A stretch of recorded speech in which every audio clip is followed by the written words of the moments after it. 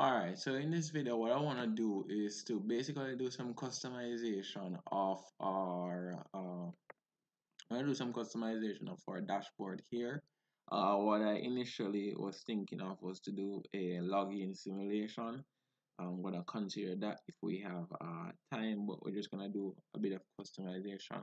Get rid of some of this. I'm going to leave uh, some of these like a clip on the, on the dark mode and put them somewhere in the middle up here at the top. Uh yeah so let's get into that right now. Uh, so I have this open so I'm gonna go to the dashboard. And uh, basically all we need is right here. So everything we're gonna put right here on the toolbar. So this is our toolbar here.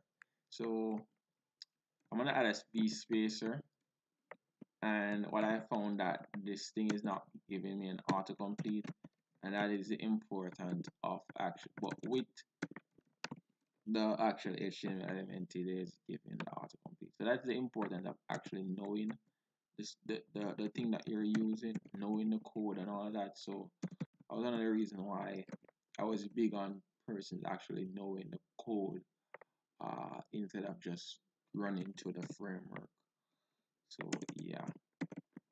So we're just gonna do a v row. And uh, I think we gotta uh, do this. Because it's not and I don't know why it's not ending. I think it normally did but not sure. We're gonna do a v column. And the v column uh, is what's gonna be within the row so it's gonna go basically across. And I'm gonna copy these. I think we want about four of them. Or five maybe I think.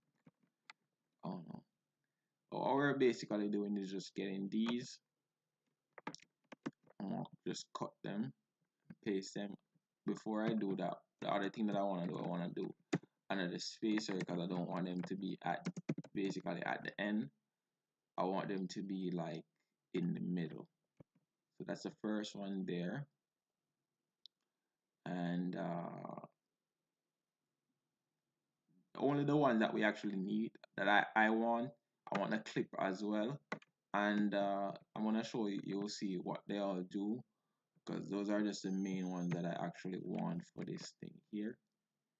Just the main ones floating no the min this will have like a mini version of the of the uh the sidebar the drawer and that will have that. So if we want to just show the icons alone then we'll see that. The footer one I'm gonna leave this for now. I'm not sure if I'm gonna delete it afterwards but we're just gonna leave it so so that uh that if we we can move the footer in and out or extend it right across the page. So yeah uh I can leave all of this now so you can actually see but I'm gonna clear them all out eventually. So let's see what this looks like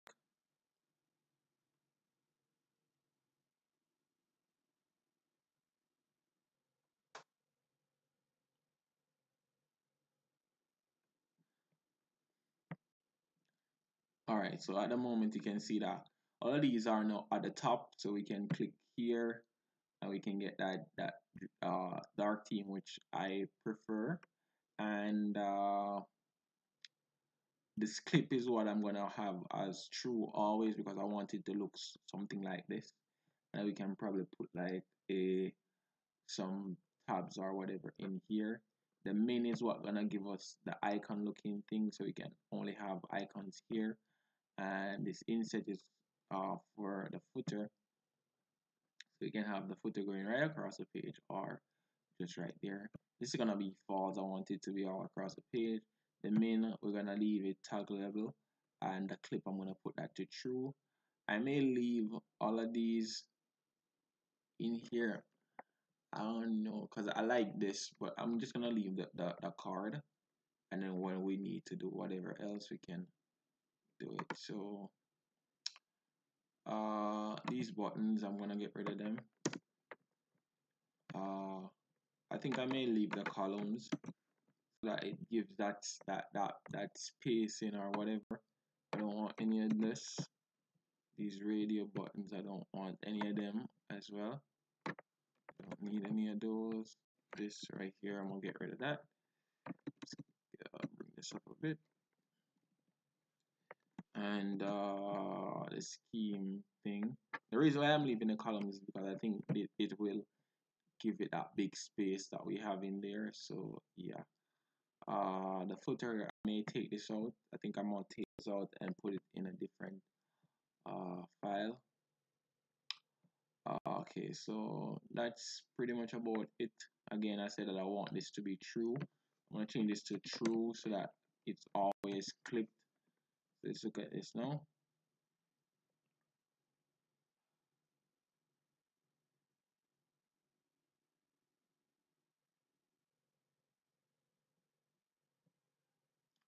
all right so that's that. So you can see the card is still there.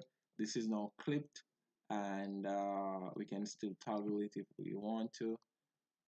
Uh, well it's not clipped well yeah toggle level now. So yeah and the dark mode we can still do that. So that's pretty cool. Uh but I want this to be always true. And we can hide these if we want. We don't really necessarily have to have them but just for my sake I'm gonna leave them. This I may find somewhere put it somewhere else. Alright so what do I want to do next? And I may change these to, to something that looks much better we can add here. So yeah I may consider that. Uh I think that's that's about that. Okay. Let's see now if we could uh I'm gonna change the footer out. I'm gonna make an app footer. Uh, actually no I'm gonna leave this the reason why I'm gonna leave this is because this is basically the footer is just for the dashboard on a whole. So we can leave that. But what I what I what I could do is to show you how we can get something on on the actual drawer. So let's get started with that. So to do that what we have to do is to basically right in here we see navigation drawer. Uh, all we have to do is just put the item there. What I'm gonna do is to basically just put a list. I'm gonna change this all up afterwards because these are support are going to be clickable and stuff. So you can do a v list and then you can do a v list uh, close that out. Then here we can do a v list item. And uh, yeah I really wish I had that autocomplete now. This item and uh, in here we can have something like uh, dashboard and I'm gonna just copy this and uh, do a second one.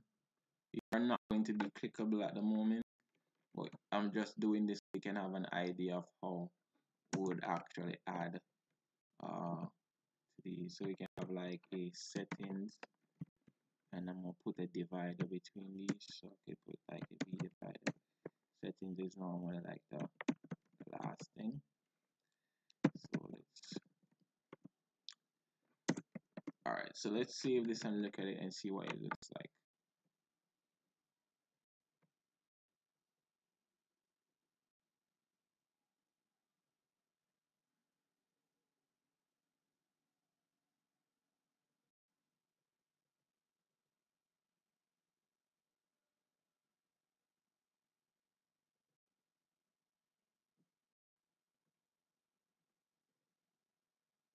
Alright, so as you can see here, uh, we have uh, set a dashboard and a settings tab here, which is pretty cool. Uh, yeah, so that's pretty much uh, if we do the toggle, then I think uh, not the, not the toggle, the clip. See what that does. Should bring it up to the top, so probably would have something like the user up here, like the user uh, their image and their name and stuff and uh, then we can have the dashboard under or whatever. But this is pretty cool uh, and that's how we get to customize our dashboard. I think in the next video we can look at uh, actually simulating that login process before we actually uh, do such. So that's it for this video. Thanks for watching and I'll see you in the next one